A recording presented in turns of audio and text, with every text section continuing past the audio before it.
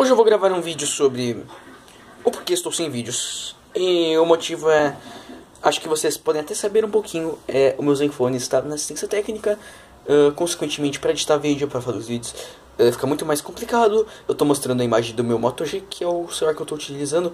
Curiosamente ele está mais rápido que o Moto G2. Ele, tá no, ele utiliza o mesmo processador, Inclusive eu estou filmando com o Moto G2, que a câmera dele é muito boa.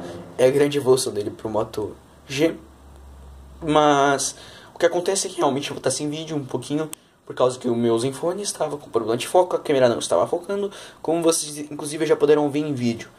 A câmera focava de vez em quando, mas de repente ela parou de vez de focar, tá na assistência, então vai ficar um pouco sem vídeo. Talvez eu consiga ainda filmar, quem sabe uma análise de fone de ouvido, até é possível que eu consiga fazer, mas vai ser um pouquinho mais complicado, ok?